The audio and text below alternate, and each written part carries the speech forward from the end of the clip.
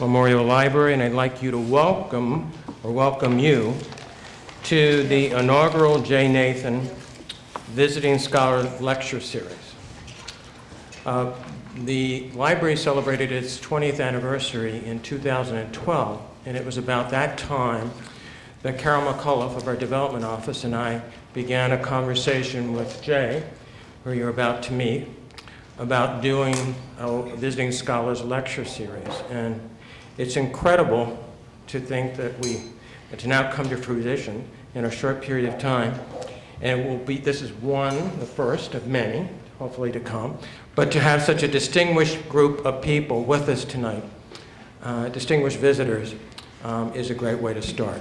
So it's my honor to welcome Dr. Jay Nathan to the podium to introduce our panel tonight. Jay. Thank you.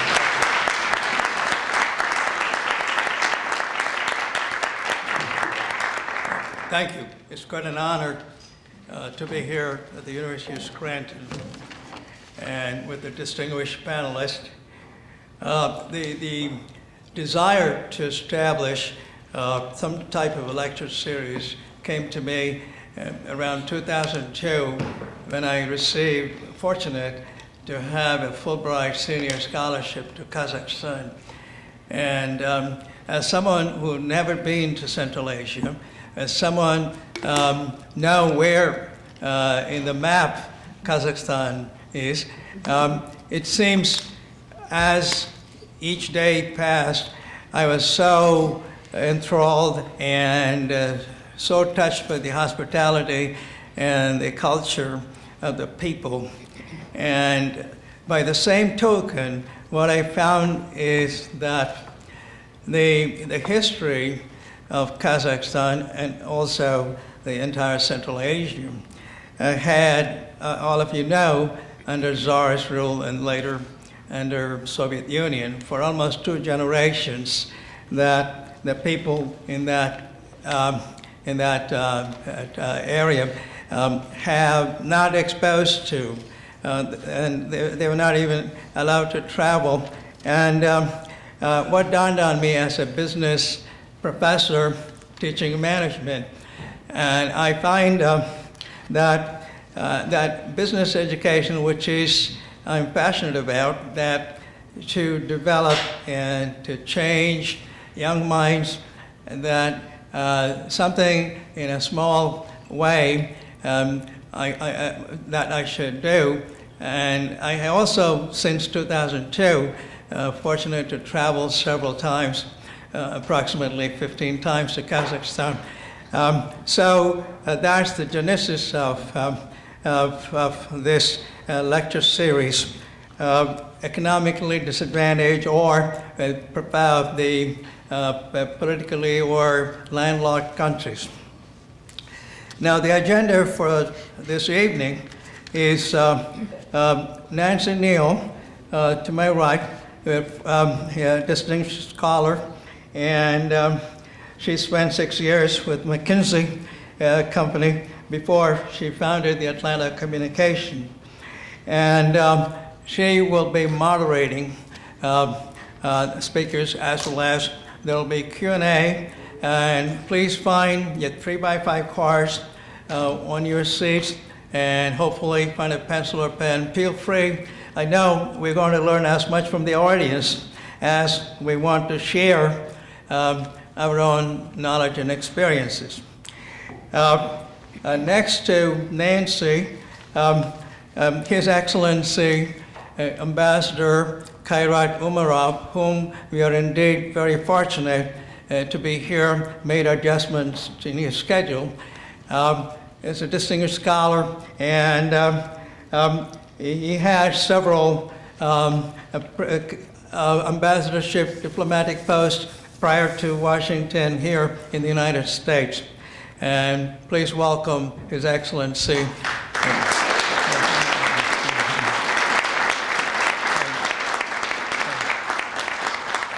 To his right is uh, His Excellency um, Ambassador uh, Bill Dr. Courtney. And again, it's a great privilege and to be seated uh, on the same um, panel.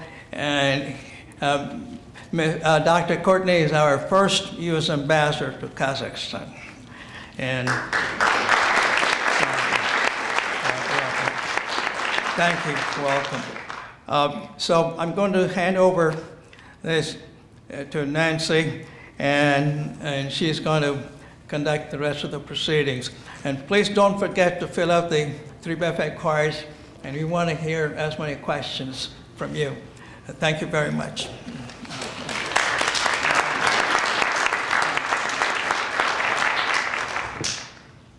Good afternoon.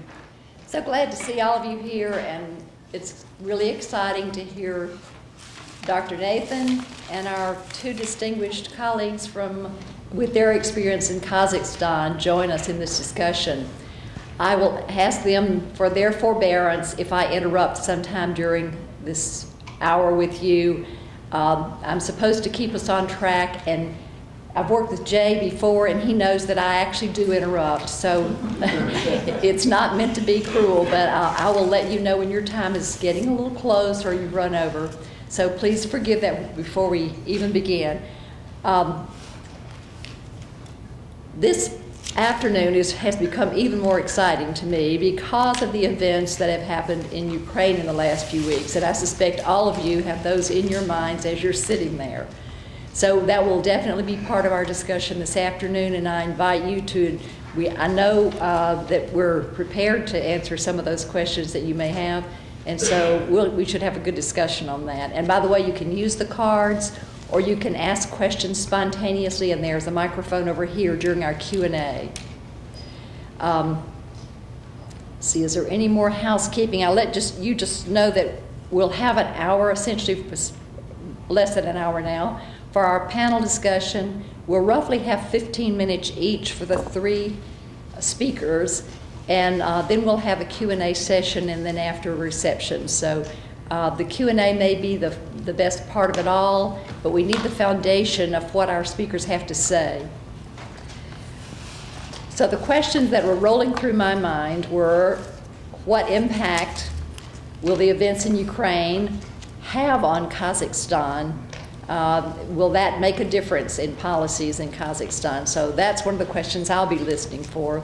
But I'm also listening for a very basic question, and that is how does a country that has lived as a centralized society for so many years become a country that emphasizes individual um, innovation, individual initiative. And I think that's really at the core of what I would look for when I'm looking for how will Kazakhstan prosper in the years ahead. So I'll uh, move us to our first speaker today, His Excellency Kairat Umarov. And um, you have your microphone over there. You're welcome to take it off if you'd like. Yeah, I would like. They're going to show you a short Check it out. video now. Oh, I'm sorry, excuse me a moment. Yeah, They want to show the video now, I apologize. Okay. undiscovered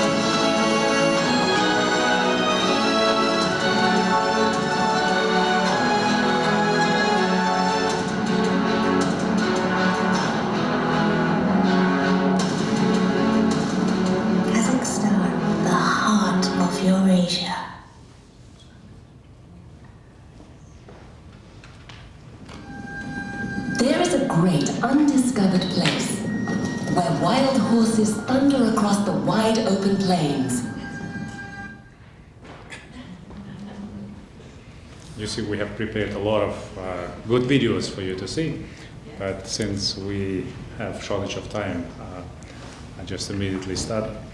Uh, first of all, of course, I would like to thank uh, Jay Nathan for uh, warm introduction and inviting me to speak uh, tonight at this inaugural uh, lecture series under his own name. I, thi- I know how uh, much effort he put into this and uh, how long he, work, he worked on this. So thank you very much. We have a lot of friends in Kazakhstan, and uh, uh, all of them are, are w- wishing you every success in advancing with Thank this excellent initiative. I also uh, want uh, to thank uh, the faculty and administration of Scranton University for hosting us today and for hosting this lecture series uh, on a very timely topic uh, focusing on Kazakhstan. I'm delighted to be uh, today at this magnificent institutional uh, uh, institution, educational institution, which is known for its spiritual vision, tradition of excellence, outstanding academics, and exceptional sense of community. And I thank you, uh, Nancy and Bill, for being uh, with us tonight. Uh, you know, we, we know each other from a long, long time ago when Bill was first ambassador uh, to Kazakhstan. And probably his insight will be even more interesting than mine uh, to know about Kazakhstan. Um, let me just say that uh, uh, you've seen the video. Uh, Kazakhstan is the ninth largest country in the world. It's uh, with 17 million people. Uh, it's massive size, the size of uh, four times of Texas. I hope that we don't have Texans here. Uh, I can change it in a different way, saying it's uh, almost the territory of Western Europe. Uh, geostrategically uh, located in the heart of Eurasia and connecting east and west, being on the crossroads of civilizations of different ethnic groups and uh, religious outfits, Kazakhstan really uh, gained a lot from uh, its history, from the immense of cultural diverse which we have in the country. And I should say that uh, Kazakhstan is strong with its unity in diversity.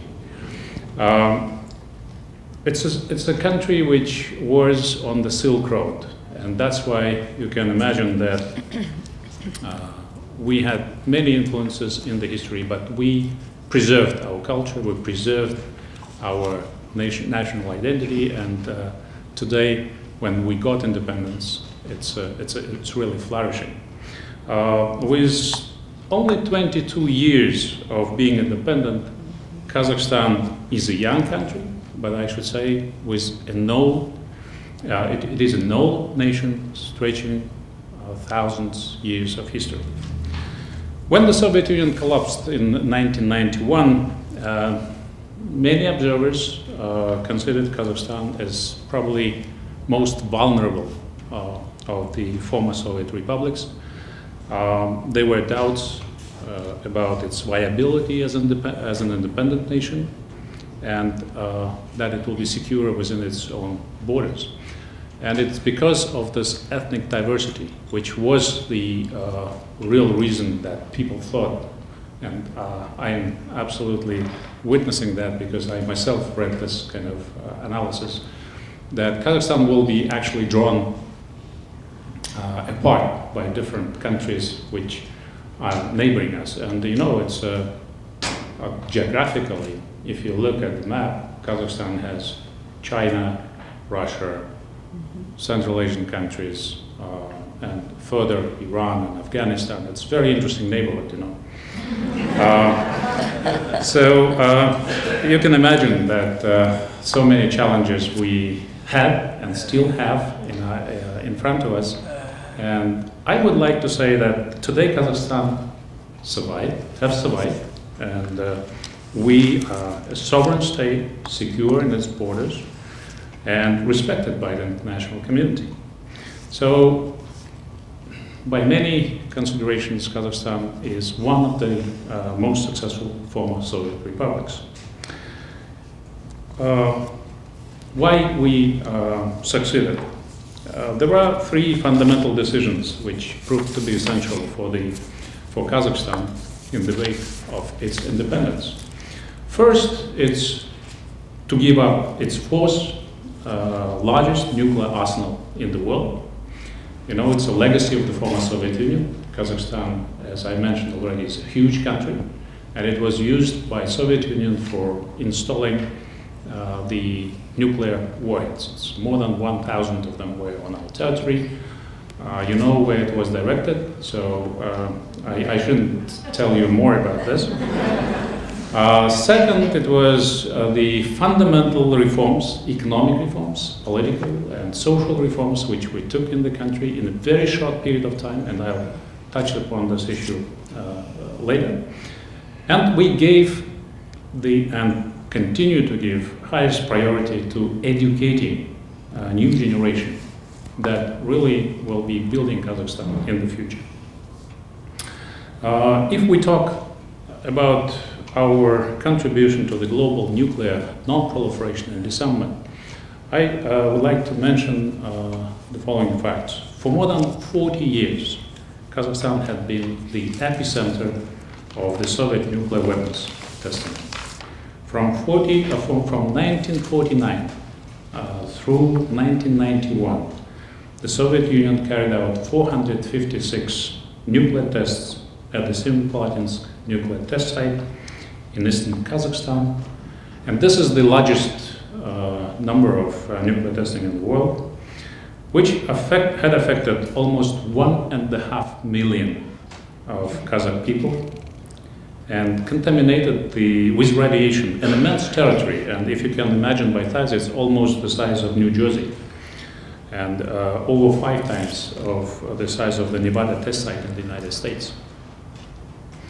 In 1991, President, my president, Nursultan Nazarbayev, unilaterally closed the nuclear test site.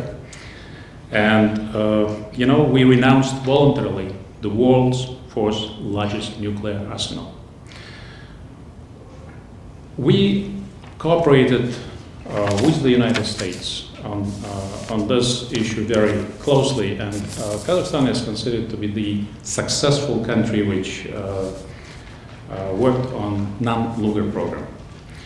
Today we uh, stand at 15th position among 193 countries on nuclear materials security index.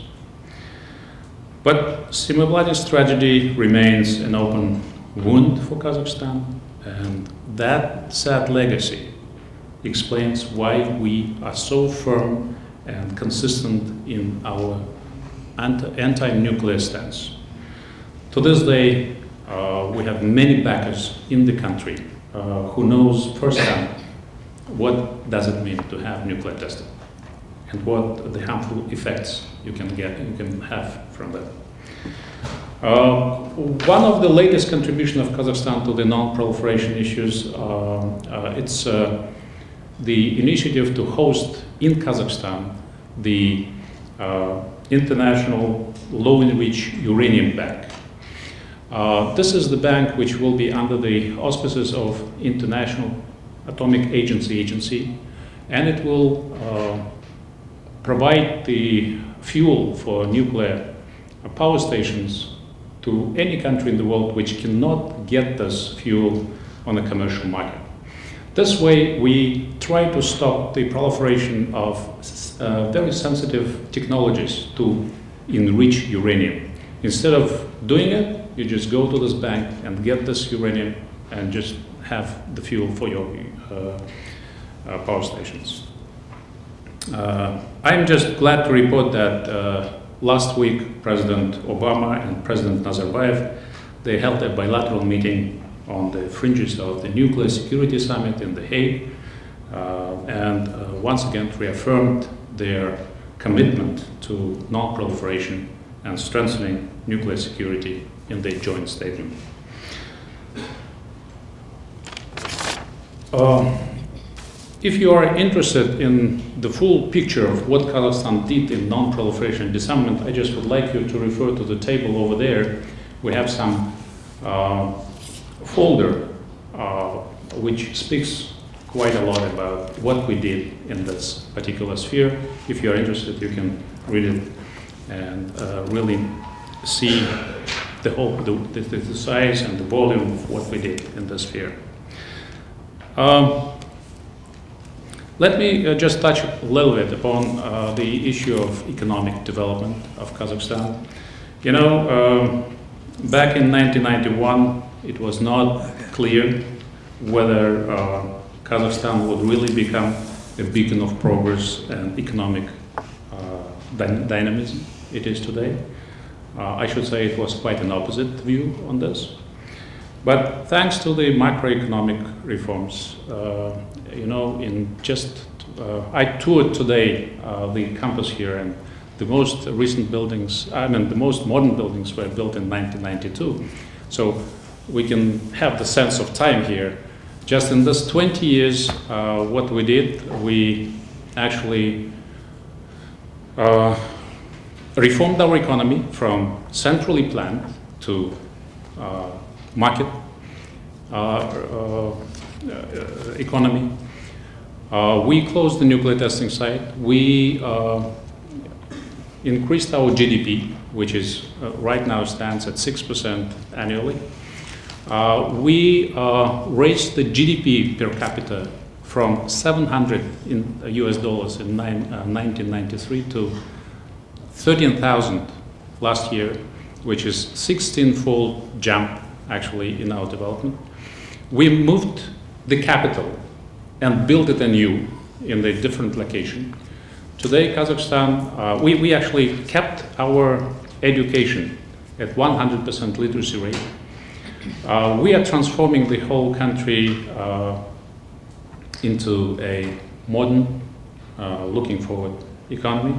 Today, we're working on green technologies, uh, just to change it from brown economy into uh, green economy one. So we all did in just 22 years. Uh, and of course, we have a lot of other things to do, but still, I think we've, we've done quite a lot during this short period of time. Uh, today, we rank as an upper middle income country, though at the beginning of our independence, it was just, you know, we were, GDP was not zero, but it was even below zero. Uh, and today we rank uh, among 50 most competitive economies in the world. Um, Kazakhstan's early and comprehensive economic reforms have made it an increasingly important economic partner to the United States, and today we enjoy uh, strategic partnership relations with the United States. We have American companies which, which works in Kazakhstan, but we would like to have them even more uh, in Kazakhstan. Uh, so I would say uh, that uh, prudent economic policies, a careful uh, husbanding of oil revenues, and forward-looking national leadership played a great role in the dramatic improvements uh, in people's economic fortunes and well-being. This is partially answering to your question, uh, how we did it. Uh, Kazakhstan today is the largest economy in Central Asia and in Eurasia. Uh, it's second only to Russia, though you know in Russia we have 140, uh, 145 million people. We have just 17 million. Uh, but of course, we cannot afford to be complacent, and uh, uh, we today look uh, to future, and uh, we launched a new strategy, Strategy 2050.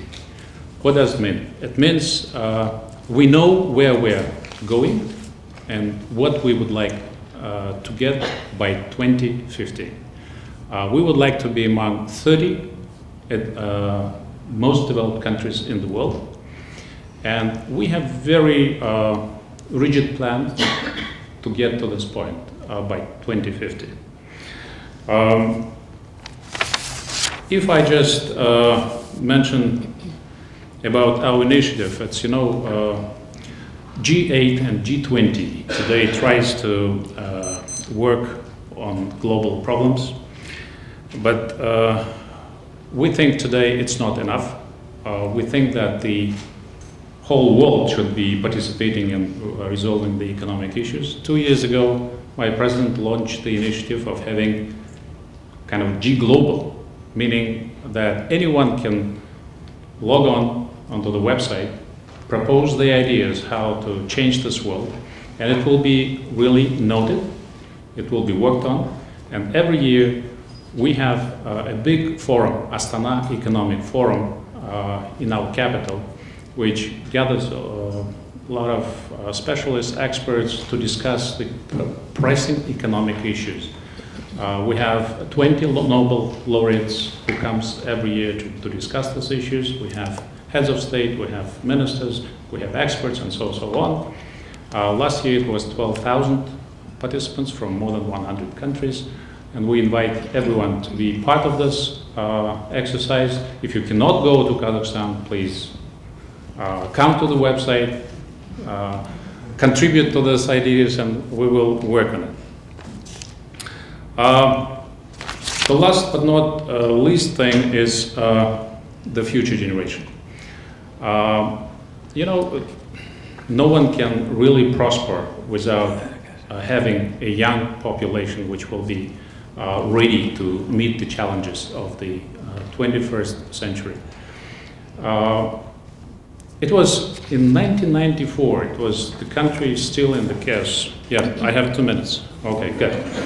Uh, in 1994, when the country was in a disarray, President decided to send young, bright students abroad to study at the best universities. It was fully uh, uh, paid program from the government. And uh, we started with 80 students. Today we have 3,000 students annually whom we send abroad. Uh, and you know, today we have in Kazakhstan well qualified young people who not only speak English, but they also understand how to do business uh, with the West. And I think that this will be uh, the best asset which we'll have in the future to work uh, in this uh, world, which is very interconnected lately. Um,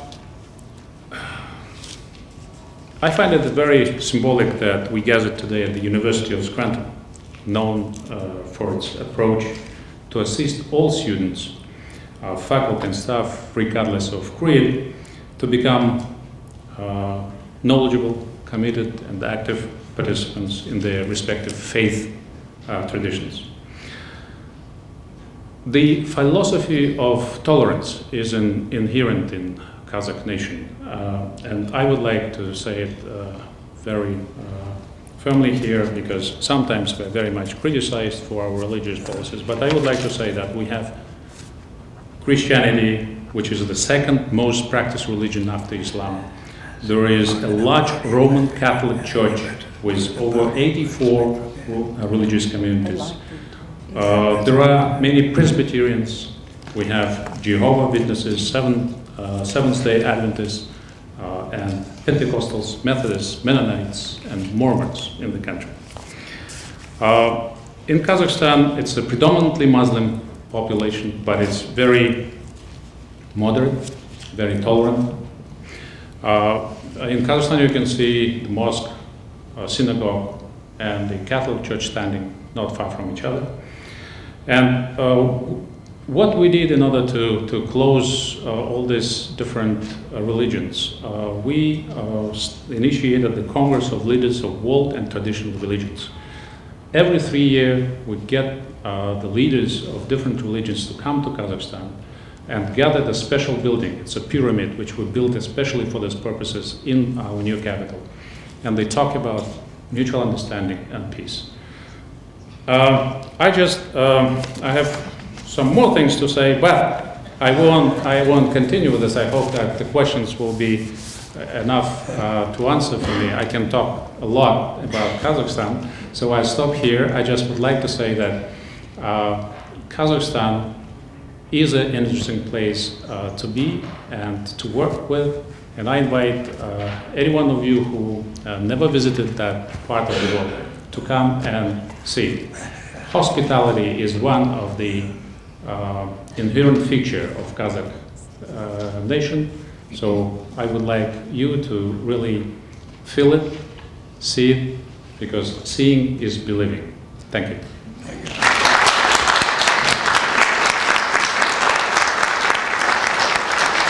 Thank you so much, Ambassador Umarov. And uh, let me just do a sound check. Can you hear all right in the back if we're using these uh, mics at the table? Okay, okay, good. So the speakers I have the hope you choice. did. They can go either way, they can go where they want to. I think our next speaker is going to choose the lecture, the lectern and uh, present Dr. Nathan. Thank you, Nancy. Uh, Thank you, His Excellency. And His Excellency sp- uh, spoke about um, the culture, the uh, tolerance, the secular nature. And I'm, being a management professor, I take a different perspective. And through the years since 2002, I had the opportunity to teach and work with and research. This is my recent book, um, which is Kazakhstan's New Economy, and I had the subtitle, um, which is Nomads and Eagle Hunters Meet Modern Management Tools and Technology. Okay, there's a little sense of humor, if you don't mind, Your Excellency.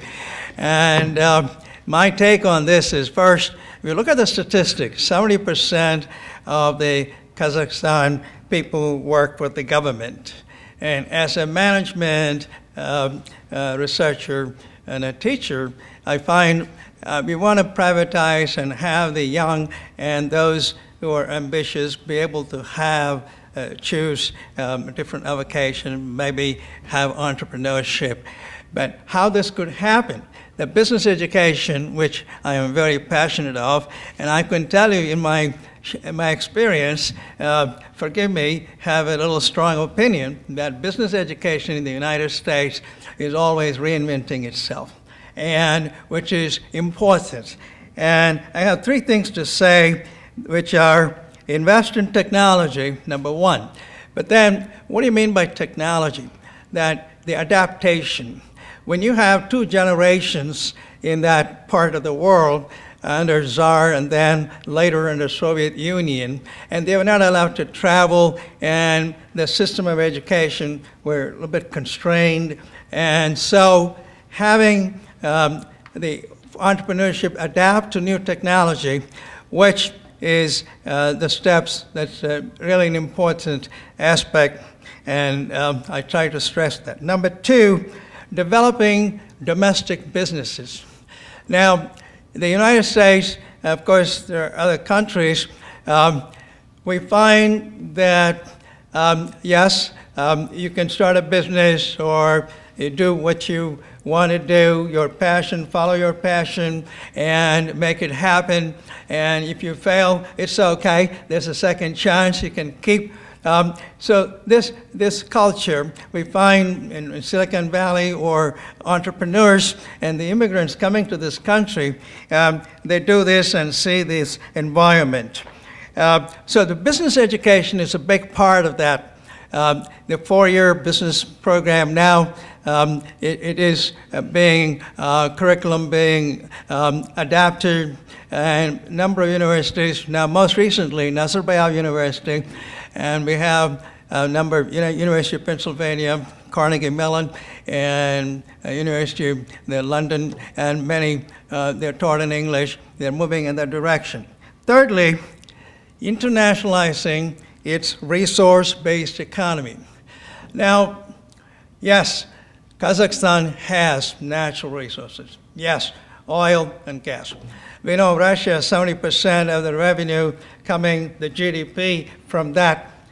But um, can it sustain? Uh, can we rely on these uh, sources and are we adding value? Are we processing?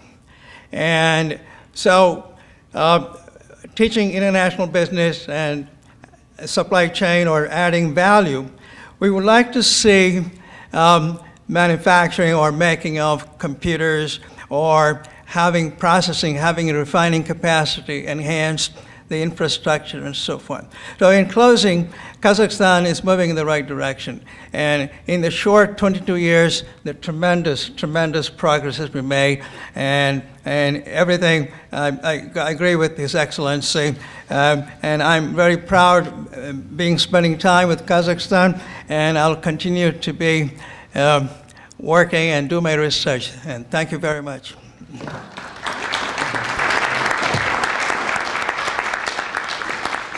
Thank you, Dr. Nathan.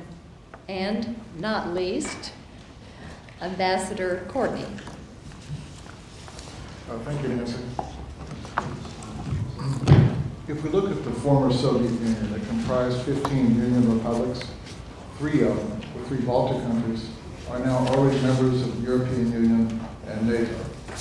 Of the remaining 12, including Russia, um, in my, Dr. Courtney, we're having a little difficulty hearing. I don't know if it's your microphone. Is this, is this better? Is this? Closer? You have to, Okay. to keep it closer. Okay, all right, great. Try this mic. Um, So of the remaining 12, um, I would argue that Kazakhstan is the most successful, except in the area of democratic reform. They're asking you to go up, I'm sorry, Bill. Maybe you will you will go there. you don't have discomfort of sitting. That's all.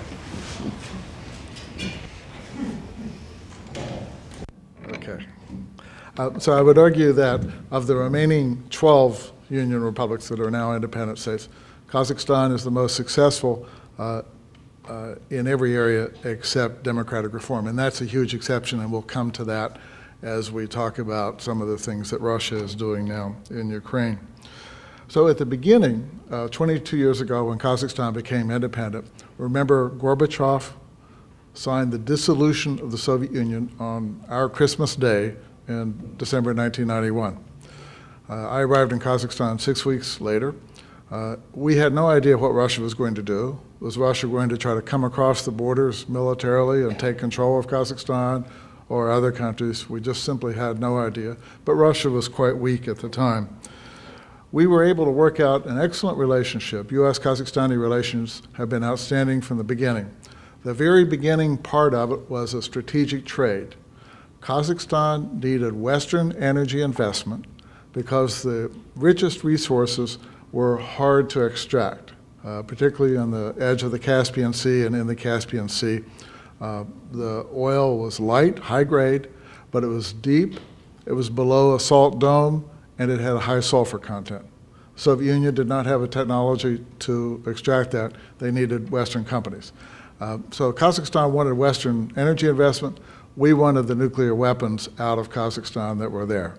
Kazakhstan, as Ambassador Umarov pointed out, had two fields of SS-18 ballistic uh, missiles with 10 warheads apiece. That was roughly just over 1,000 nuclear weapons. Plus, they had the only uh, large nuclear weapons storage site outside Russia itself, at Semipalatinsk. Uh, Kazakhstan had no use for the nuclear weapons. Unlike in Ukraine, which uh, objected for a while to give up its nuclear weapons to Russia, Kazakhstan had no use for them, was willing to send them back to Russia, which is what we wanted, and we encouraged investments to come in. Chevron came in to Western Kazakhstan and the Tengiz project, the largest investment anywhere in the former Soviet Union, the, f- the first largest investment anywhere in the former Soviet Union. So our relations were successful uh, right away. Um, on the democracy side, though, this has always been a troubling area.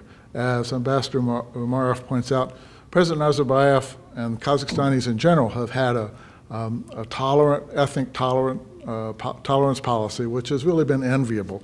In fact, going back in history, uh, during Stalin's time, when Stalin uh, exiled uh, Ukrainians to Kazakhstan, uh, Crimean Tatars, Koreans from the eastern part of the Soviet Union to Kazakhstan, the Kazakhstanis were noted for taking care of these people who were often just dumped uh, off cattle cars uh, onto the land. And so Kazakhstan became an extremely welcoming uh, place.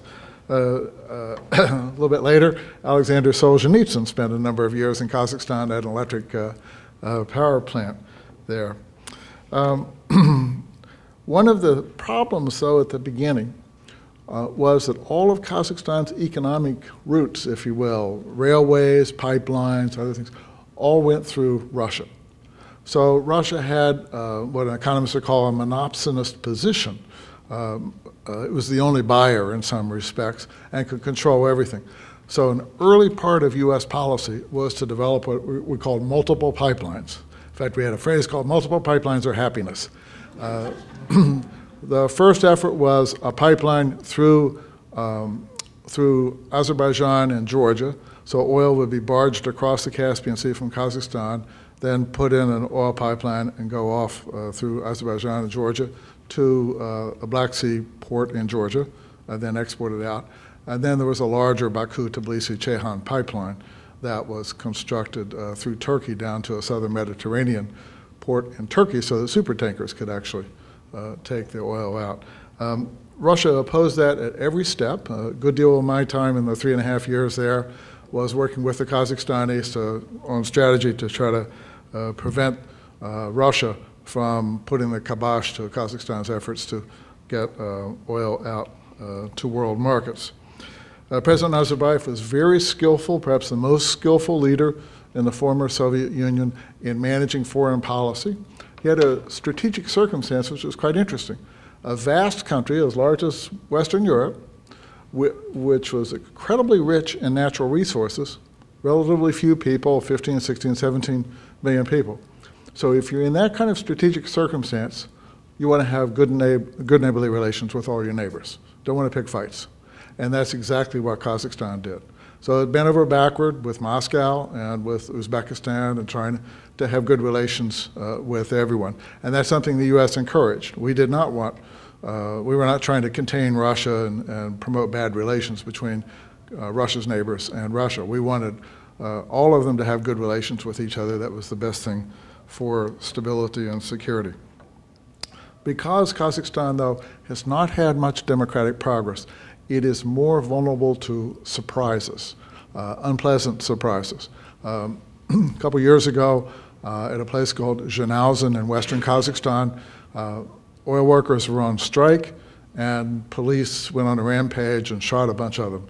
This became kind of an internal 9 11, if you will, for, for Kazakhstan. It shocked the country that its own police forces would use, uh, use force against unarmed uh, miners uh, sorry, un- unarmed oil workers. And so uh, Kazakhstan has taken some steps to deal with that, but it has not taken the fundamental step, which is having genuine democratic reforms permeate throughout society. Because that's the best way to ensure the loyalty of your people, and Kazakhstan is, has remained a dictatorship.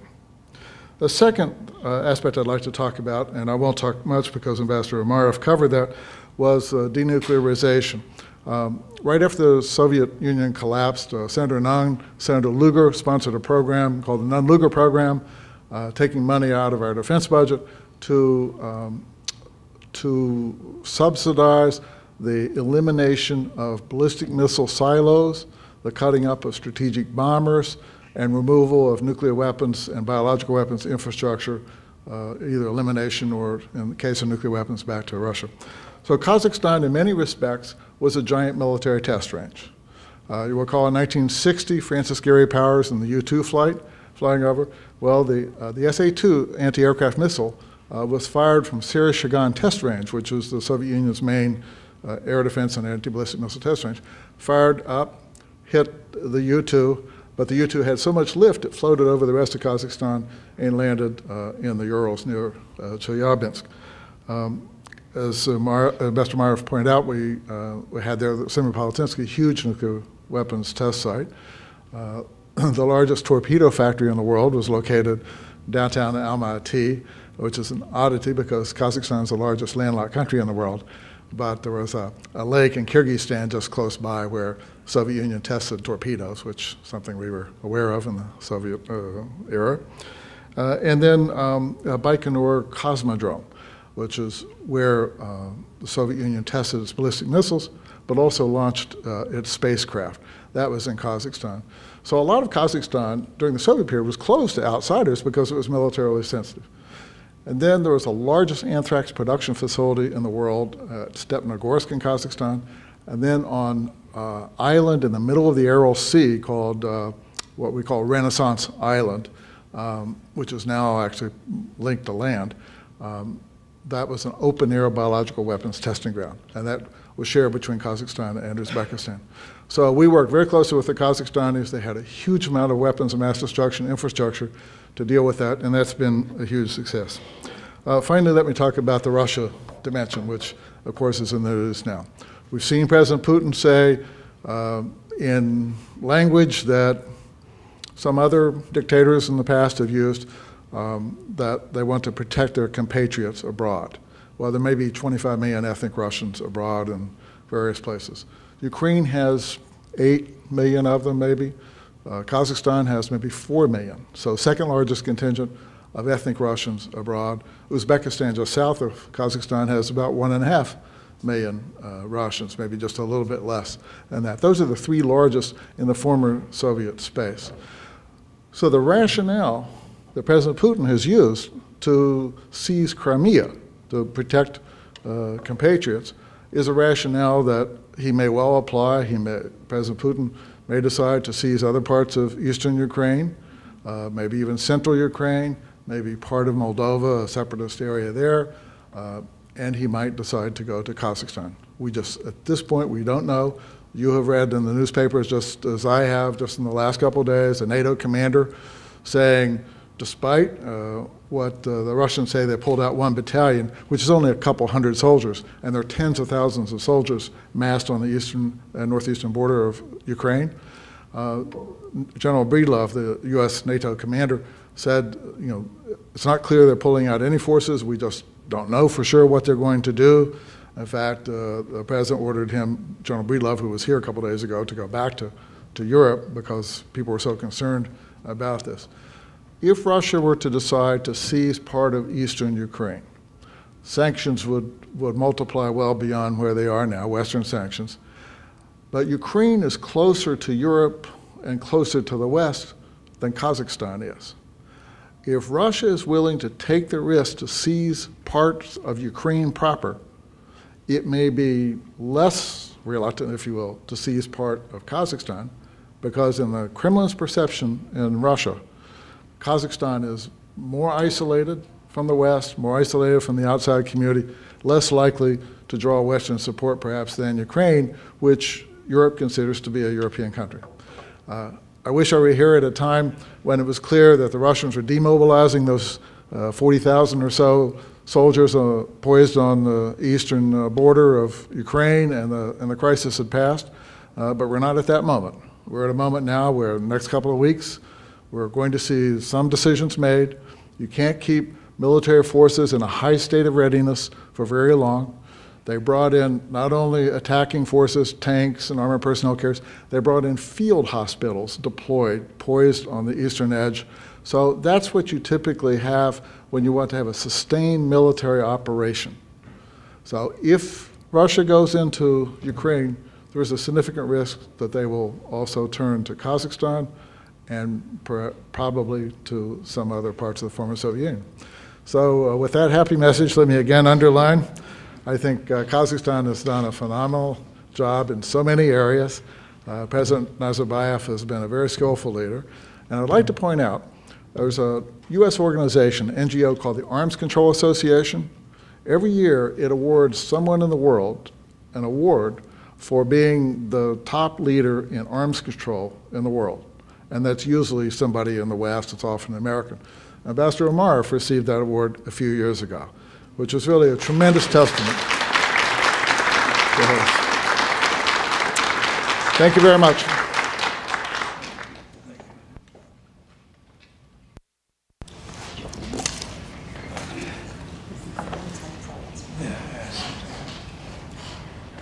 I know you wanted to hear Eric speak a little bit longer.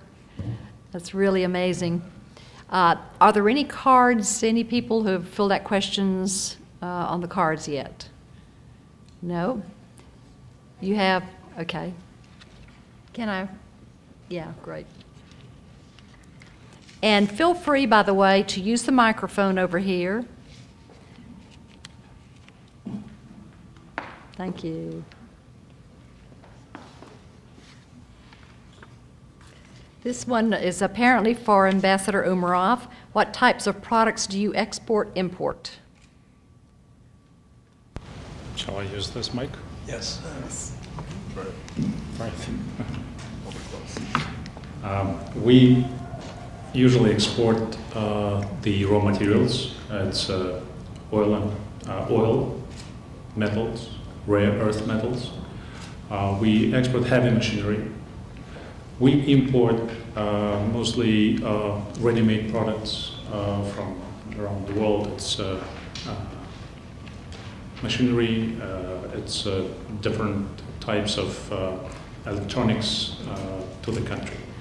So the major focus today is to bring high-tech industry into Kazakhstan, and for us to actually to get out of this uh, raw uh, material supplier status and just uh, produce uh, ready-made products in Kazakhstan. So we're giving a big push to that. This one comes to you as well. How do you secure such a long border? This is a good question. Uh, we have with Russia probably the largest, uh, the longest border in the world. It's uh, four and a half thousand miles. Uh, it's, uh, you know, the way we are dealing with the borders is to demarcate and uh, put a uh, jurisdictional legal status to the borders. Uh, and that helps us to kind of say some, something happens. We can really claim about uh, something happened to, uh, to the borders. Uh, but we did it deliberately. The first act of new government in Kazakhstan after getting independence is to uh, delimitate the borders in order to avoid any kind of issues uh, on the border. And having a large border with China, it was also important. How we do it, we just demarcate it, and uh, of course, uh, uh, it's not all the territories which you can cross easily. So in the areas where there is crossing, of course, we have uh, the uh, border security. Getting a lot of questions here. This is my favorite, I think. Any McDonald's in the country yet? Uh, actually, uh, I have a news for those who like McDonald's. So now you can come to Kazakhstan and enjoy it, because uh, on the first of May it will be uh, the franchise was uh, actually signed, and it will be in Astana. And on, from the first of uh, June, it will be available in the second, uh, the former capital, Almaty. So both of the big cities will be having McDonald's in Kazakhstan. I think Dr. Nathan might be able to tackle this one first and then maybe bring it back to Ambassador Umarov. What are the tourist attractions? Well, there are several. Can you all hear me well? Can you? Thank you. In Almaty, we have a ski resort, and uh, Almaty being an old capital, and also the European tourist um, historically uh, has, has been attracted by Almaty. Um, Astana has also become a, um, a tourist attraction, as um, His Excellency Umar pointed out. Um, they have uh, opera house, and theater, and um, several other uh, attractions. Also, you know, Karaganda, the central, north central, Shymkent, you have Turkestan, um, um, and these areas in southwest and, and closer to Uzbekistan as well. Uh, historically, uh, uh, these are um, attracted um, the tourists, and they're promoting, yes, uh, it's, it's a good place. Uh, if you're spending two weeks, you, you can fill up your two weeks in Kazakhstan and enjoy yourself. Well, let me just add uh, to that. Uh, thank you, Jay, uh, for telling us. Actually, if you come to Almaty, it's the former capital. It's uh, the largest city, actually, in Kazakhstan. Uh, you can, in one, just in one hour drive from uh, the center of the city, you can go hiking to the mountains, It's 40 minutes from the center of the city, and you are in the mountains already. Uh, you can go the other direction. You can see uh, some uh, miniature copy of uh, uh, big canyons which you have here in the States, but they're very picturesque. You can see the singing dunes. Uh, so why it's singing? Because when you step on it, it starts giving some sounds. You know, uh, and uh, we have beautiful mountain lakes uh, over there. For those who like ecological tourism, for those who like more active uh, tourism, you can go and see museums in the city. It's a Silk Road, showing the Silk Road, interesting uh, pieces of that. You can see the excavations of, uh, this is the Golden Warrior, as we say. It's an old Sak warrior, warrior. It's a tribe, actually. And the whole outfit is made of gold. Uh, it's not gold as a solid one, but it's animal style carvings. And it's very beautiful. It's the most ancient uh, full covered body uh, of warrior was found. Uh, you can uh, go, as uh, Jay mentioned, go to the mountains. We have beautiful uh, ski resort, and we have the highest skating rink in the world, open skating rink in the world, where you can enjoy your time as well. Uh, if you go to new capital, you can enjoy the Oceanarium. Actually, it's you know it's a landlocked country, and we have sharks there. So for you, it's not probably a big, uh, interesting place to visit, but for those who live there, it's uh, one of them. And uh, you can see an interesting architecture in the new capital.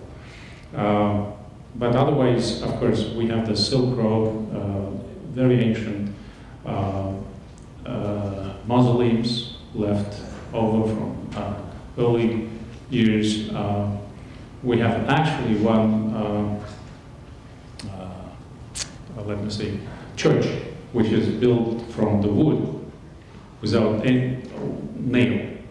It's a huge uh, multi-story uh, church. So you can see a lot of interesting things in, in Kazakhstan if you come and you have time to spend there. Thank you. I'll turn back to a little more serious question now. Um, I've had a couple of comments about this. Um, What is the status of women in Kazakhstan? Uh, you know, in Kazakhstan, uh, the women uh, they enjoy equal rights uh, from the ancient times, because in the nomadic structure, uh, any person plays a great role in the family. So women enjoy freedom all the time, and uh, it's a it's a probably joke today, but we have more women today in private enterprise than men, and some of the men today are learning how to look after children at home uh, while women are working. So that is what is happening uh, in, in our societies as well. Uh, so uh, uh, it's mostly equal rights for women, and today in the parliament we have even larger percentage of women than probably in the U.S. Congress today. Good point.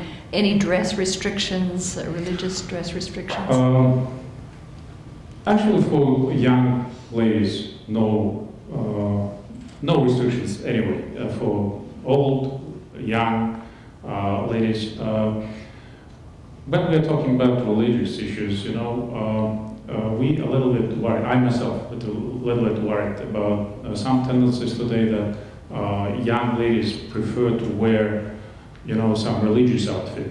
Uh, we all the time we're enjoying this freedom in uh, uh, how you dress, how you just behave yourself. And this is a little bit worrying for me because you know there are a lot of missionaries coming to Kazakhstan, and sometimes they brainwash this young uh, generation. So for us today, important to withstand this with kind of explanation what is good and what is bad. But you cannot, of course, uh, uh, restrict people from doing something. But usually, if you come to Kazakhstan, don't worry about dress, the way you look. Uh, We're very tolerant towards.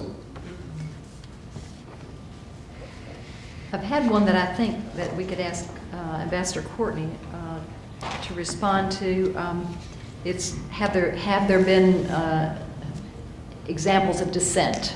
And you had started to mention something earlier, and then maybe we'll turn again to, um,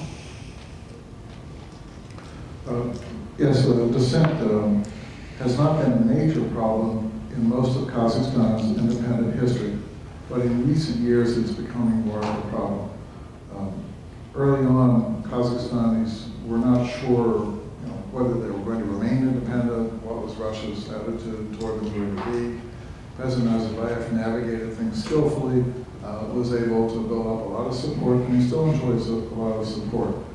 But in part because of what Ambassador Umarov mentioned about the education of the young people, now there is a rising generation of young people who are better educated, have more experience of the outside world, and their expectations are higher for political participation, for being able to speak openly in public uh, about uh, political matters.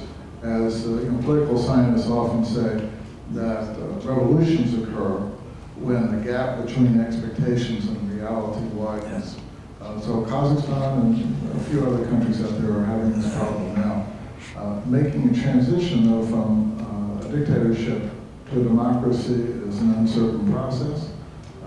Kazakhstan has hung on to dictatorship too long, and now with Russia potentially putting more pressure on Kazakhstan with regard to, I think Russians in Kazakhstan, the best antidote is to have more democracy so that think Russians in Kazakhstan can feel happy uh, and more satisfied uh, with life. So I think this is the one area in which Kazakhstan is running increasing risks because the pace of democratization is slower than the rate of rise in expectations. you'll comment on that, Ambassador Lamont? Yeah, sure. I, I would like to comment on this. Uh, uh, you know, I think dissent is good. Opposition is all the time healthy. Uh, if you have an opposition to society, uh, you really can uh, do something good or affect yourself. And the government today is feeling this. We, I myself, I was deputy foreign minister when before coming here, and uh, uh, we all the time were feeling that there is uh, during the Soviet Union, you don't have this, but now we have this uh, growing pressure that the government should be accountable to the people. I think it's a great thing because you all the time go to parliament or to, to meet the people, you all the time uh, feel a little bit shaky, you know, before, uh, just uh, going there and talking to people. So it's very good uh, that we have this. Uh, the other observation is that the higher the GDP per capita in the country, the more uh, willingness of the people to have kind of freedom of expression, of meetings and everything. And it, it is an objective process. Yes, we are paying to this attention, uh, paying a bigger attention today, and we are decentralizing today uh, the uh, management of the country, giving more power to the uh, uh, regional heads, which will be and is right now being elected uh, in their respective areas. So it means that the uh, when I was talking about strategy 2050, it is very definitely we're speaking about changing the institutional base in the country. It's going to more democratization, uh, changing the landscape in the country. Uh, it's good to say here uh, one more thing is that you know we we know that democracy is good. Nobody in Kazakhstan is arguing about this. But uh, as we say, democracy is not the end of the road. It is a process. And we are at the beginning of this process. We're in a transition period. If you compare us to any other countries in the Eurasian space, I think Kazakhstan is more progress than that. And we are very much open and uh, to talk about this. We are willing to get the best examples, and we are working on this. So uh, it's a temporary transitional period we are in right now, but everyone in the society uh, feels that we need to work more on this. And this young people, about which Bill uh, mentioned, uh, they are educated abroad. You cannot uh, stop or cap this in any way possible. So I think that it's uh, the, the work in progress, and we will have this thing more developed in the country in the future. This may be related to what you're co- commenting on now, but this question is, what was done internally to produce a 100% proficiency in reading in such a short time? Uh, You know, we, uh, to to the, it's a, uh, educational system is um, in the process of reform. Uh, We started with the Soviet uh, system. It was not the bad system, I should say. Uh, It was a very solid one. But what it lacks is the practical uh, implementation of what you uh, get uh, from theory. So today we are changing the system from just you know theoretical knowledge into some practical uh, application of it. And this is a big change which is going on in the educational system. The other thing is that uh, you cannot see uh, local population, uh, young children, going to the streets to earn their money. This is prohibited almost. Uh, we uh, and every regional administration is actually tasked to see that the young children they should go to schools. It's, it is prohibited to use the child force. It is prohibited for young children to be on the streets. They have, their job is to study. And I think this uh, is one factor. The second factor is that we would like to keep this schools in the districts, in the remote places, for them to work and continue education. Uh, if we're talking about higher education, uh, let me say uh, the tertiary, uh, right now in the schools we study to teach three languages obligatory, native Kazakh, Russian, and English. So we would like to have specialists fluent in three languages. And I think this is, that will be continuing this uh, education. As, as for the higher education, uh, I said we just uh, use not only studies but practical application as well. I think it will change the education system. Uh, so that's why the literacy rate continues to be on the high level. We never uh, actually turned our back to education as a secondary thing. We all the time consider it as a priority for uh, people.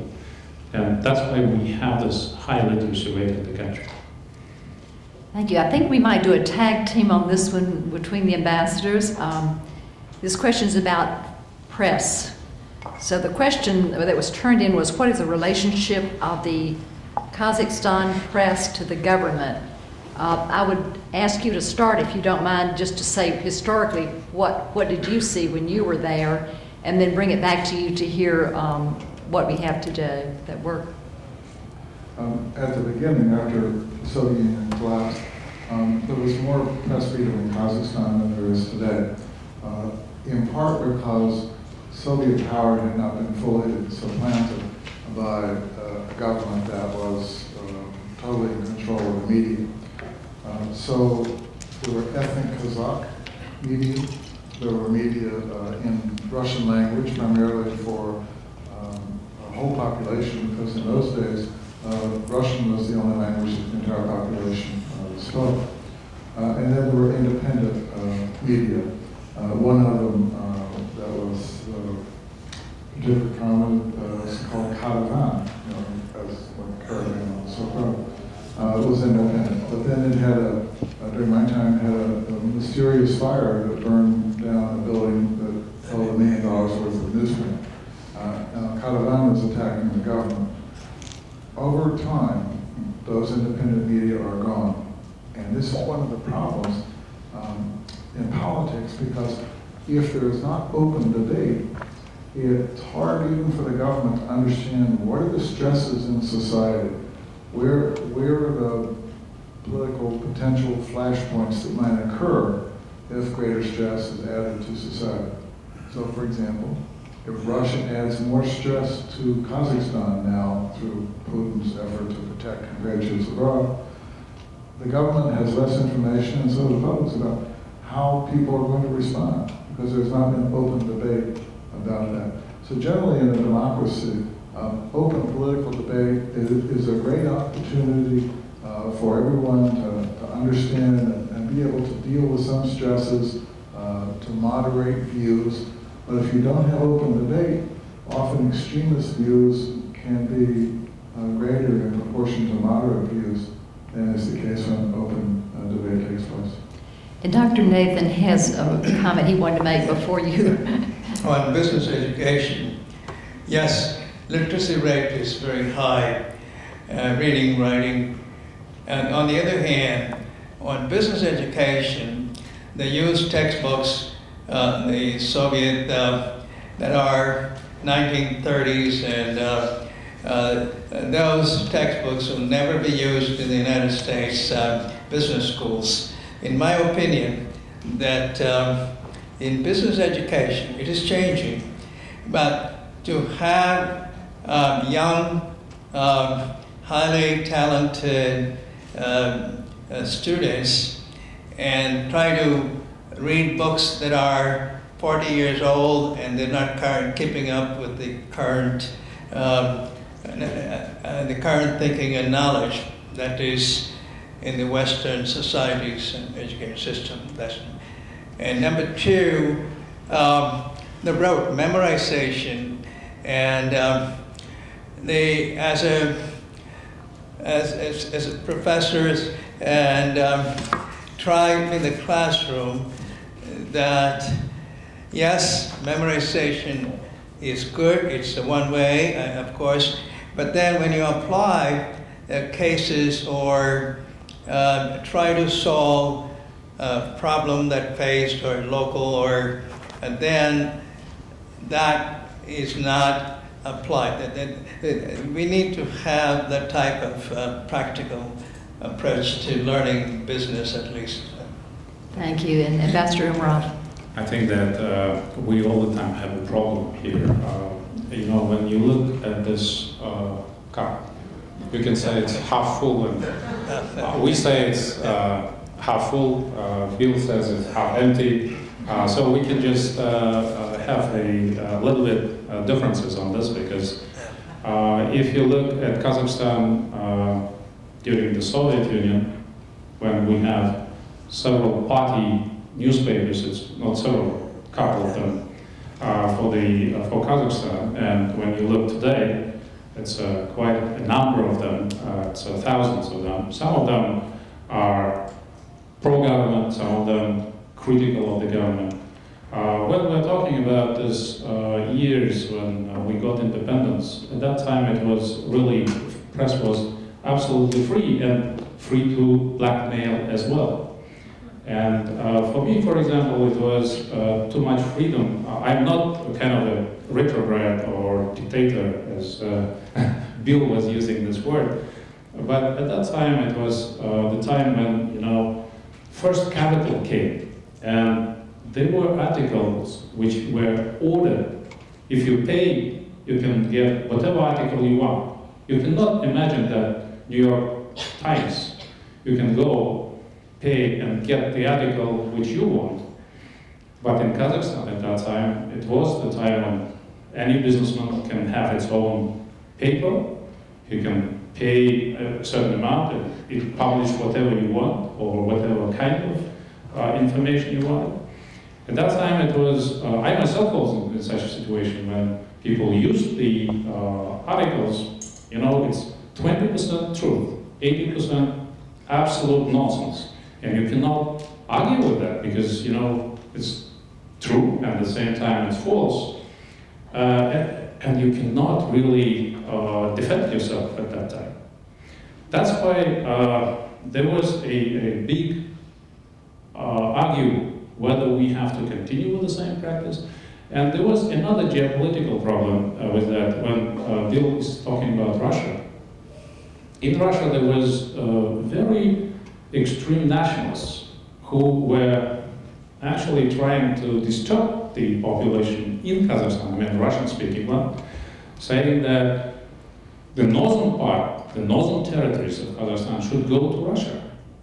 And you cannot stop from publishing it because, you know, uh, that was uh, kind of democracy. Uh, but on the other hand, you know the source of it, from where it was coming. You really, uh, and uh, you know, there's no tradition, old time tradition with the newspapers, there's no history behind them, and that was a big problem. That's why today, I think, the press is becoming more aggressive, but more moderate. You cannot go and probably buy uh, whatever you want. So it comes with uh, historical development. It comes with maturity. So we are for the not revolution but evolution in each and every aspect uh, of our life. Probably it seems to me that it's less democracy in Kazakhstan, but I hope that uh, gradually we'll fill up this cup and everyone will be looking at this as a half full and not half empty. So I think that this is, uh, should be understood and I'm not defending ourselves, but I'm just explaining what is what was the reality.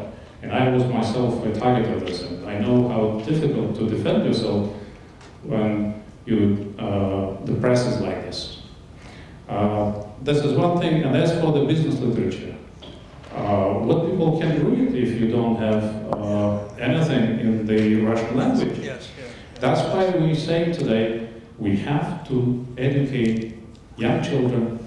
They should learn English, they should learn other languages for them to open the horizon. They need to read and listen to Russian press and at the same time have the access to the Western press. They should read in original all this business literature, everything which is, which is available today.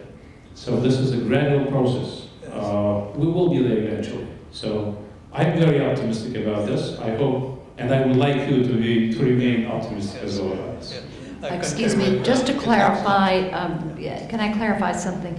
Um, Ambassador Umarov, which is the dominant, I know you mentioned three languages that are widely uh, spoken. Which is the dominant language? Is it Russian today? Uh, uh, in the big cities, it's Russian predominantly. Uh, big cities, uh, you know, it's uh, uh, the industrial cities where uh, historically uh, Russian-speaking people were, were coming. If you go to the rural areas, it's mostly Kazakh language. And uh, gradually today, uh, it's coming to the television, it's coming to the newspapers, it's coming to everything. And today, we, I should say that we have other nationalities who speaks Kazakh as well. For example, if you turn on TV today, and we are looking today for those uh, anchors who speaks two, three languages, and you can see Russian or German who speaks excellent Kazakh, even better than probably me. Uh, and they can speak Russian as well. So they can speak their, lo- their own language as well. So we see today the multilingual uh, society, and we encourage them to come to the television, to the newspapers, every, in every uh, layer in the society. Okay, I'm going to go through a couple or three questions and then have Dr. Nathan close it for us today. Uh, These are big topics to try to cover in one minute each or something, but this one's, this one you can cover that quickly. What is your currency based on? Uh, um, Our currency uh, is based on, based on uh, gold resources of the country. And we, uh, of course, it's, it's also linked to Russian ruble, which is, you know, uh, close neighbor. But we don't, we, we have, the, the majority of our resources is in dollars. Uh, The lesser part is in euros, and the, the small part is in, in Russian uh, rubles. So if you take it uh, by percentage, I should say 60% is uh, uh, US dollars, uh, 20 or more percent in euros, and the rest is um, uh, Russian, Kyrgyz, uh, uh, Chinese uh, currency. Okay, here's another one for you. Um, How is gas and oil extracted? Uh, uh, If you are talking about shale gas fracking, it's not in Kazakhstan. Otherwise, it's a usual way of extracting the. Okay, and finally, um, what is the status of um, agriculture in Kazakhstan? Um, agriculture is uh, 40% of our economy. Uh, so it's a, it's a huge uh, lands which can be used for uh, agriculture. Actually, I forgot to mention, we export a lot of grain. Actually, we number five in the world uh, exporters of grain. And it's very hot, it's very good quality of grain which we export. Uh, so it's a huge territories which could be used for agricultural use. Today we are working on raising the productivity even further uh, of our lands. Uh, we would like to develop uh, a new type of cattle. Uh, actually, we are importing in Kazakhstan live cattle from North Dakota, uh, from Kansas. Uh, can you imagine by FedEx airplanes? they are taken there because you cannot ship them. Uh, they will die. Uh, and uh, we were doing this uh, uh, through airlift uh, because we were buying those, uh, those which were pregnant, you know, for, for new kind of, uh, for, new cows. And we are buying a special type of uh, cows, that's a Hereford and uh, uh, Angus. We would like to improve the genes of our uh, cows and to return to the position of meat uh, exporter uh, because historically we were the meat exporters, but because of this breakup of the former Soviet Union and these problems in agriculture, we lost this position. Now we're doing it, and uh, having our cows adaptable to very cold winters, which we have, and having them uh, very qualitative type, type of meat, I think we can export a little bit later the best type of cows which could be adaptable to any climatic conditions and it would be very qualitative meat. So we're doing uh, this as well. We are trying to work on machine building, I mean agricultural machine building, because uh, this is a lack for us. We need to work on it. Food processing industries, we have a lot of fruits. Uh, some of them could not be sustained because of the lack of other uh, machinery and uh, processing industry. So we are talking here to the companies to come to Kazakhstan and work with us, especially on the organic food, which I think could be a quite good exportable item uh, our transactions. Okay, you heard it here. And I apologize to the number of people who had cards and we could not get through all of them tonight, but I will make sure that they get your questions so they'll know to be prepared the next time for what people are interested in. And I will turn now the program over to Dr. Nathan, who will have his closing uh, comments. Yeah, I want to thank Nancy for the excellent job she has done.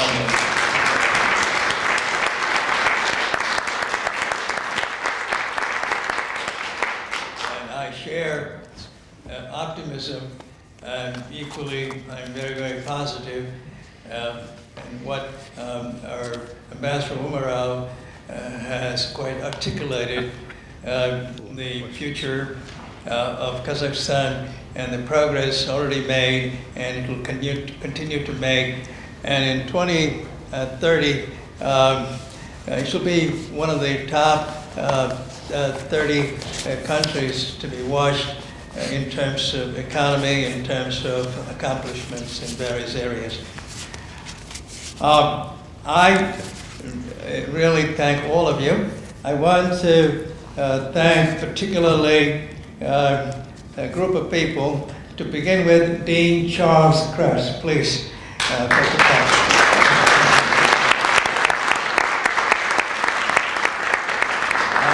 Dean um, and I want Carol McKell to stand up, please. And it's a great honor to have Carol. And um, yes, uh, Carol has been a little bit inconvenienced, but then she recuperating, and it's a privilege. Both Dean and Carol made this uh, lecture series possible, and it's an honor to work with both of them. And I'm truly grateful uh, for, for this, not only the inaugural event and, and succeeding years. And there are two outstanding individuals. Um, First, I want to begin with Associate Dean Bonnie Strohl. Uh, Please.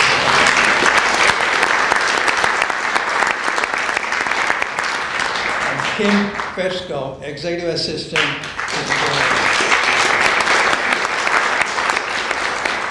Now, both of them have made this possible in many ways because to make the flyer, uh, to, to work with uh, the distinguished panelists and put it together with the marketing and communication, and most of all, reach the distinguished audience that you have been, that you are. I- It has been a wonderful, wonderful event. I want to thank you all. I'm very grateful that all of you took your time to be with this, um, uh, with this event. And um,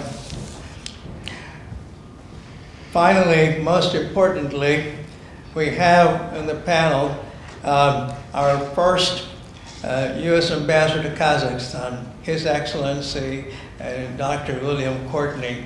And he being here and given his insights, I, I don't want to read his bio, and I've been um, uh, just print out for the last week, and the, his uh, op-ed, the pieces on the New York Times, and he has been appearing in Al Jazeera almost every day, and his comments on Ukraine crisis and Eurasian, uh, and, uh, and it is tremendously, tremendously, I'm grateful that he's giving his time this evening.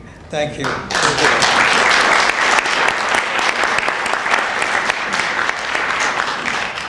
We have uh, with us, of course, you have seen the passion and the, the way uh, Kazakhstan, the best of Kazakhstan, has been represented in His Excellency Ambassador Umarov. They could not express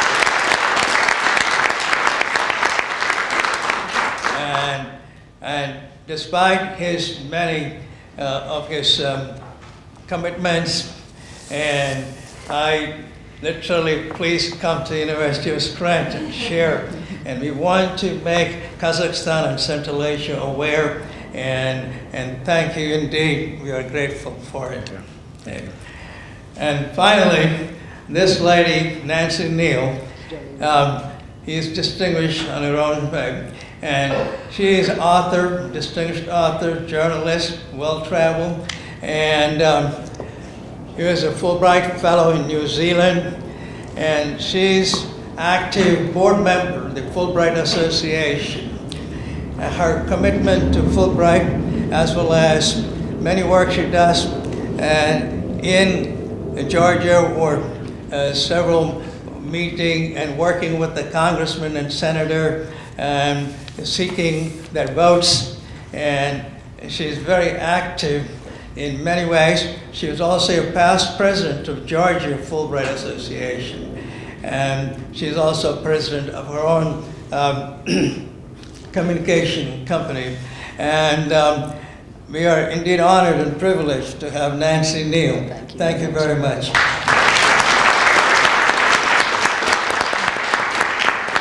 And please join us for the reception. Have conversation with ambassadors and Nancy, and um, please share um, the uh, the drinks, and please look at the uh, books that Ambassador Umarov brought, and they are for you. They are complimentary. Please take with us as many books, as many um, uh, flyers, or there are some uh, calendars. Please take souvenirs and enjoy further conversation with the ambassador. Thank you very much. Uh, I just uh, want to mention, uh, we have travel guides there, so if you uh, want to see the attractions, uh, they are all over there. Thank you. You have a nice man.